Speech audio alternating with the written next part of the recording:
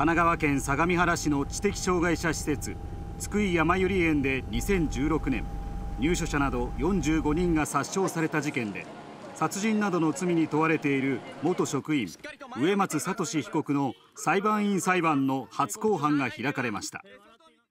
植松被告は起訴内容を認めた後皆様に深くお詫びいたしますと述べました。その後手を口元に持っていく様子を見せ体を激しく震わせたため係官に取り押さえられました。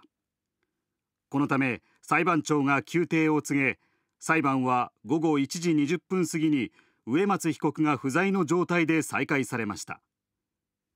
休廷前弁護側は責任能力が失われていたか著しく弱っていたなどと述べ責任能力について争う姿勢を見せました。